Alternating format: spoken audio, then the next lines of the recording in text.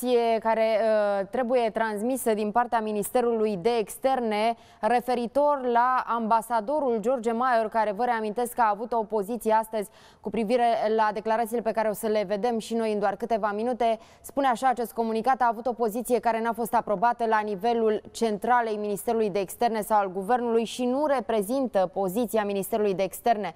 Un ambasador al României ar trebui să fie preocupat ca în conformitate cu Convenția de la Viena cu privire la relațiile diplomatice să reprezinte întotdeauna interesele statului român în statul în care uh, este acreditat. Rolul domniei sale este acela de a promova interesul național, așa cum decurge el din consensul la nivel instituțional și să se abțină de la declarații publice de natură să afecteze negativ chiar relațiile bilaterale cu alte state.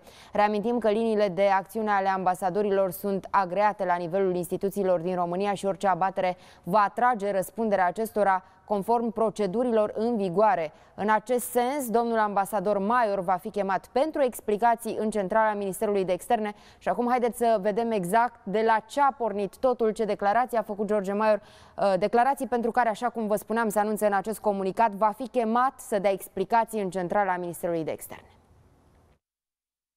Este o persoană privată, nici nu este avocatul domnului Trump, este un personaj uh, cu o anumită istorie interesantă în Statele Unite, legată de, în special, 11 septembrie. Uh, acum este un comentator uh, în spațiul public american.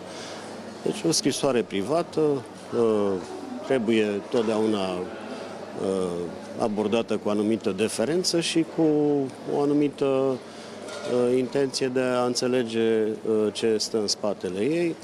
Am și eu anumite supoziții, dar nu vreau să comentez mai mult. Uh, poziția oficială a guvernului american a fost exprimată clar de președintele Trump în contextul întâlnirii cu președintele Iohannis. Da, o